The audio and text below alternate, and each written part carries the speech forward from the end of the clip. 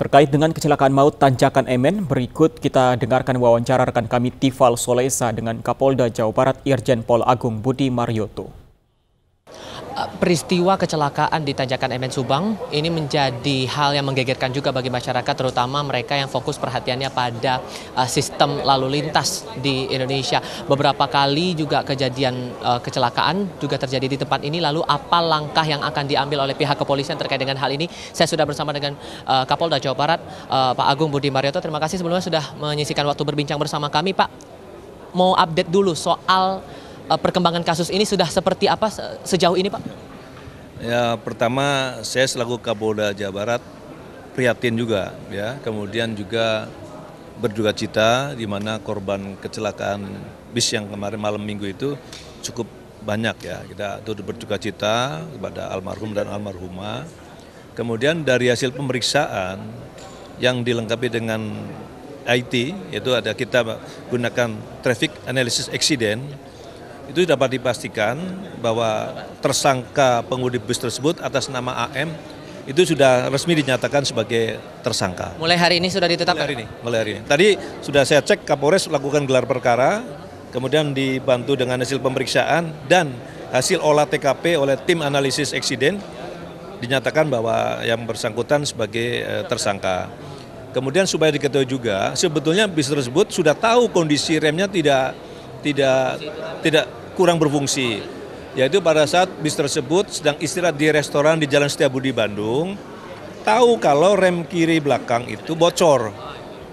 Kemudian yang penumpang bis sedang makan, uh, supir dan kernetnya memperbaiki secara manual supaya tidak bocor lagi. Memang kalau dalam kondisi jalan lurus itu kan bebannya tidak maksimal, ya kan? Mungkin bisa ngerem.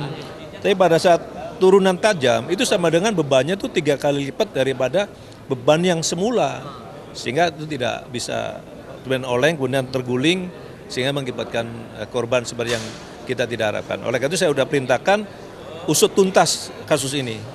Oke, apakah kemudian akan ada peluang ter, uh, munculnya tersangka baru apa, atau kemudian ada upaya untuk mengkonfirmasi kepada pihak jasa transportasi bersangkutan? Saya kira kita konsentrasi ke kasus ini dulu, kita akan juga dalami nanti proses uji kirnya, hmm. ya kan? Hmm. Itu kan harusnya kir dong, itu kan anggota umum harus kir. Apakah prosesnya benar atau tidak? Karena diakui juga sudah lakukan uji kir sekitar 4 bulan atau lima bulan yang lalu. Iya betul, betul. Kita akan periksa mendalam ke situ. Kalau nanti demikian kita bisa Undang-Undang 22 tahun 2009 mengamanahkan bisa manajemen angkutan umum juga bisa bertanggung jawab kalau dia sudah tahu kendaraannya tidak layak operasional dipaksa maka kita proses hukum juga. Oke. Ada upaya koordinasi juga berarti dengan pihak dinas terkait atau bagaimana ya, Pak? Kita pertama dengan teman-teman perhubungan, hmm. kemudian dengan dari uh, uh, dealer, dealer itu artinya kendaraan tersebut merek apa kita undang, kita yakinkan, terus baru dengan tim analisa eksiden dia kita supaya lebih komprehensif penanganannya.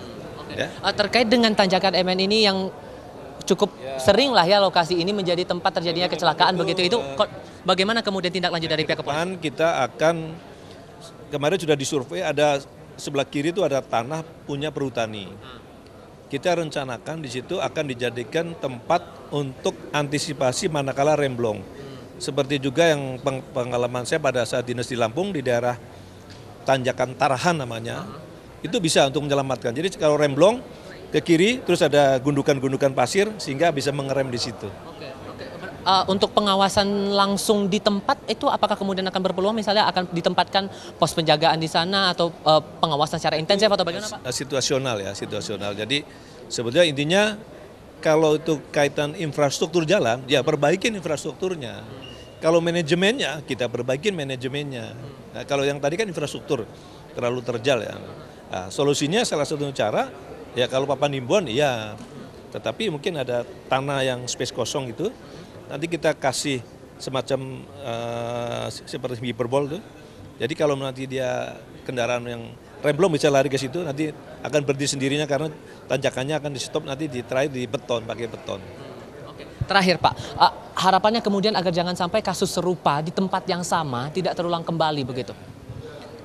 Yang pertama dari pastikan dulu bahwa kendaraan yang digunakan harus layak jalan. Apalagi itu angkutan umum membawa penumpang yang cukup banyak kan, nah itu harus laik jalan. Yang kedua ya aturannya, aturan ditegakkan. Nah kepolisian dalam konteks adalah pengawasan. Nanti kita akan gandeng teman-teman berhubungan mungkin akan sidak di terminal-terminal untuk mengecek kelaikan jalan kendaraan angkutan umum.